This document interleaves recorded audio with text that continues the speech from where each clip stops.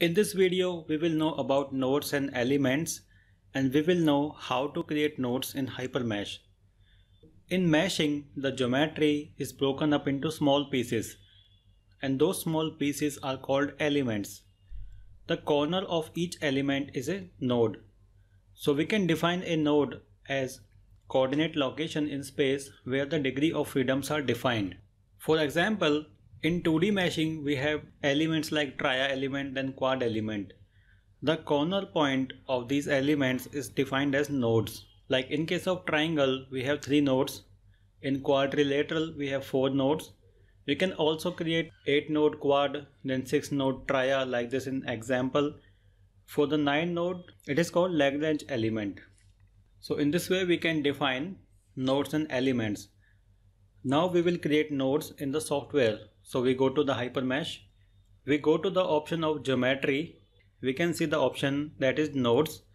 Below this we have node edit.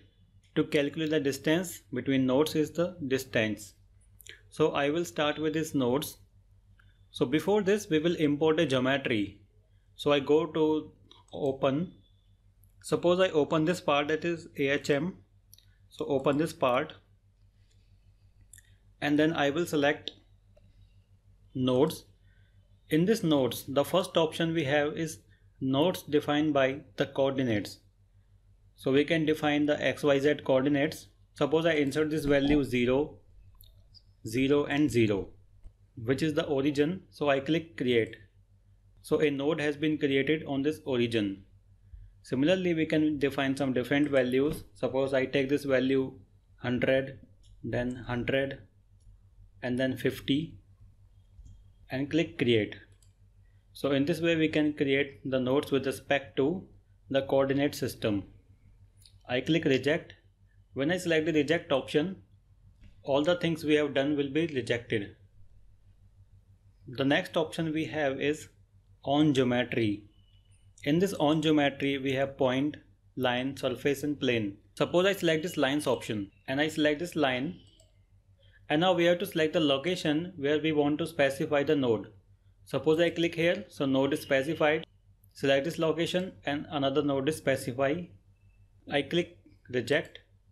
The next option we have is arc center. So we have created an arc. Go to this arc. Select arc center option and we have to select the nodes. Select this first node, second node and this third node and select create. So a node will be created at the center of this arc. Reject. Next option is extract on line. So in this extract we have extract parametric and then extract on line. I select extract parametric. In this we have option of upper bound and lower bound. So in the reference we can select line and surface. I select this line and then suppose I select this line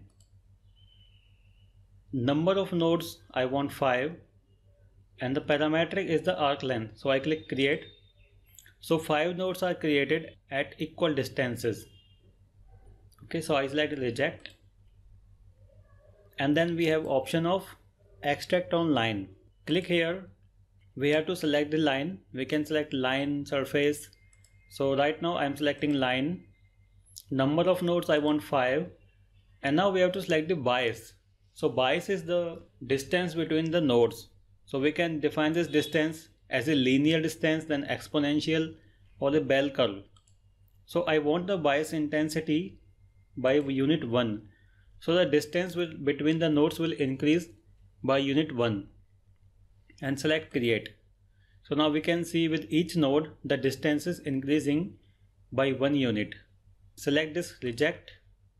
Next we have is the interpolate nodes select this interpolate. And now we have to select the nodes. Suppose I select the first node and select the second node.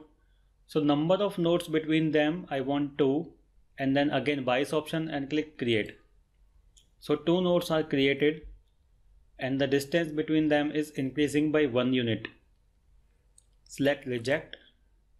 Then interpolate on line. In the similar way we can interpolate the nodes on the line for this first we will have to create some nodes so I go to return okay go to these nodes go to this geometry. On this line first create some nodes.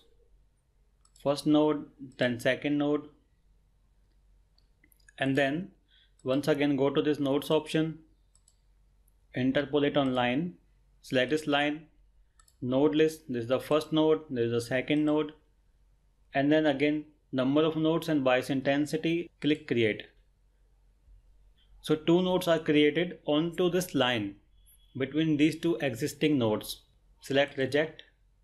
Third option is interpolate on surface. So for this we need a surface. Reject, return. Right now we have we have a surface but it is not showing in this window. So for this I go to the option of shaded geometry and surface edges. Click on this and now surface is showing. So I go to node, interpolate on surface click on the surface and we have to select the node list. Node list suppose I select this first node and this second node and then click create. So these two nodes are created onto this surface.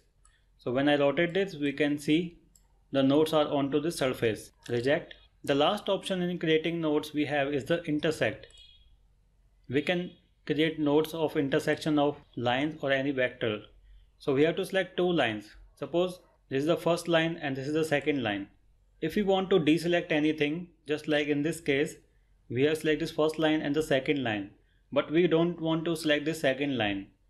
So to deselect this, just take the mouse onto this line and make a right click on this. Hit the right click, it will deselect.